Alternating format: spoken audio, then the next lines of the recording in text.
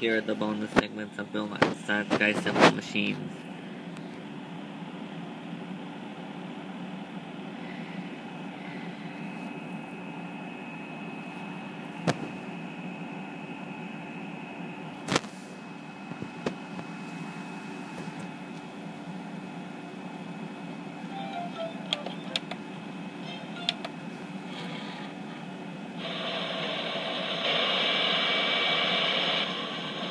this crane's a machine. It's a simple machine. Yeah, no matter how big the crane gets, it uses the same principles. Ramps, levers, and pulleys. They're all types of machines we call simple machines. Uh-oh. Oh, boy.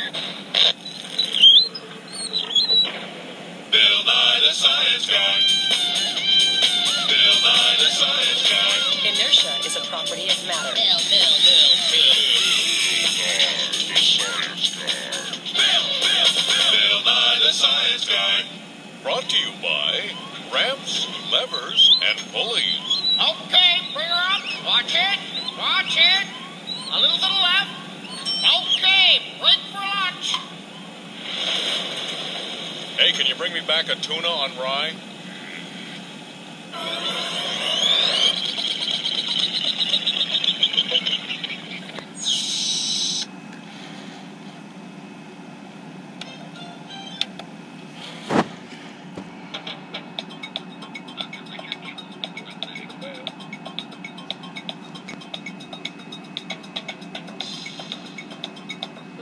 A, prosthesis or uh, an, arm for someone who is born without a hand or they have an accident and lose part of their forearm. When we do the work that we do in prosthetics and, and orthotics, we really are looking at different kinds of levers and using the parts of our bodies as levers to control them. Um, Does this part right here go? Um, Right there. The, this prosthesis is made for someone who uh, had had an accident or had cancer and they had their arm missing right at the shoulder. So this sits right on your shoulder, and this joint here becomes what is your shoulder joint. It moves out and it moves forward just like your arm moves out and forward. And this has to fit very, very well because it's a long lever that they're trying to control.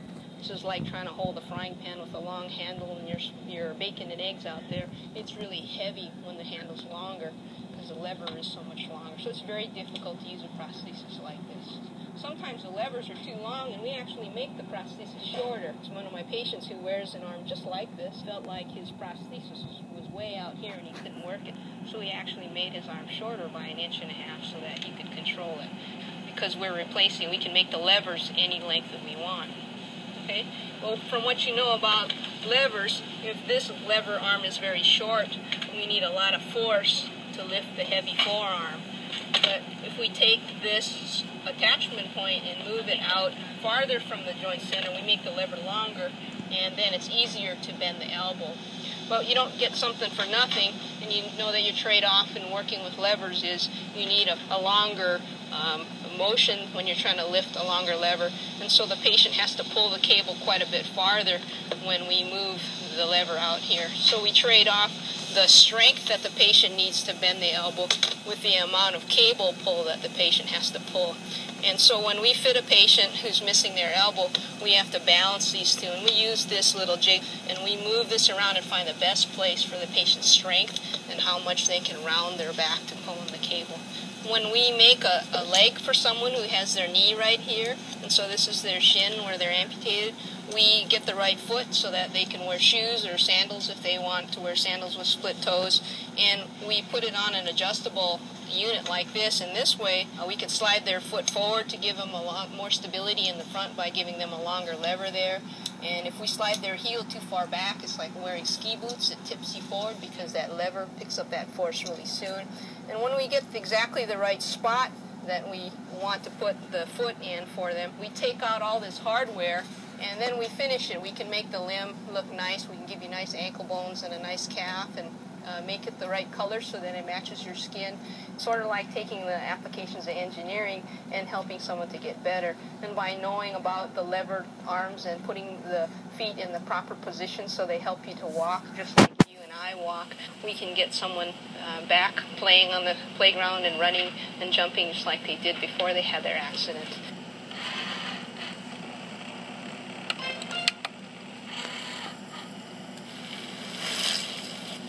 Know that gears are simple machines? Really? Gears make it easier for us to do work. See this big gear? That's first gear. Every time I pedal once, the wheel goes around once. The chain just connects the front wheel to the back. In a low gear, my foot travels a long way.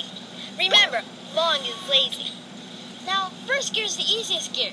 That's the one I'd want to start out in and go up hills. I wouldn't want to start out in a high gear. In a high gear, your foot travels a shorter distance every time the wheel goes around. So that means I'd have to work harder. Remember simple machines? Short is serious sweating. So high gears are the most work, but they're really good for once you finally get up to speed. The wheel is a simple machine too. Bikes are just loaded with stuff.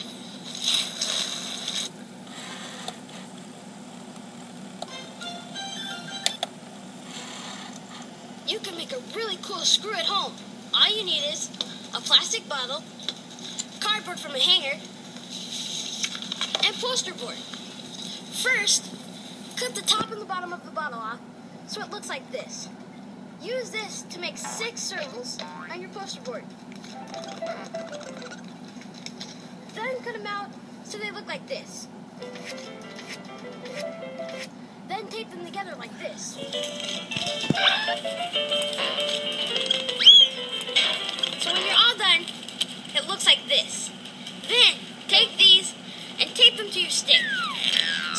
That's all done, it looks like this. Then you put the whole thing all together and put it into a big bowl of cereal and turn the handle.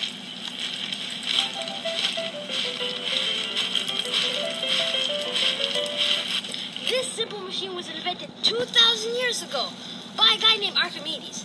Hello. That's why it's called an Archimedes screw. It's really messy, but that's okay.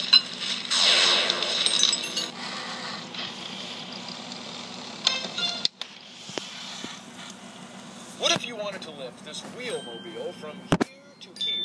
You could haul it up this ramp. You'd have to pull it farther, but the pulling would be easier. You'd get a mechanical advantage. Right, Dave? Hey, Bill.